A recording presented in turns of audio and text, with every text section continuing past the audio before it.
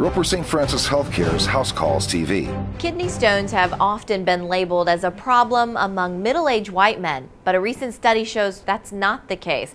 Dr. Jonathan Picard explains who is being impacted by this growing health problem. What we're seeing with this new study is that there's an increased incidence in both young children, females, and African Americans.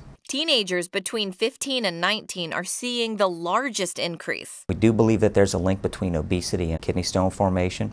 We don't fully understand what the link is, but there actually appear to be some chemical changes that actually happen. And that does include children. And there is some suspicion that that may actually be part of the link to their increased incidence. Fortunately, Roper St. Francis offers the Kidney Stone Center of Charleston to help diagnose and treat stones and possibly even help people avoid chronic kidney stones. Probably the best thing that we can do is to really do a better job of hydrating and just being aware of our general health. When we first start to have an issue or we suspect we're getting pain, blood in the urine, or a kidney stone problem, we should go in and get evaluated and get that specific testing for our own individual issues. For more information about the Kidney Stone Center of Charleston, call 531 OUCH. And for more House Calls TV, visit us online at rsfh.com.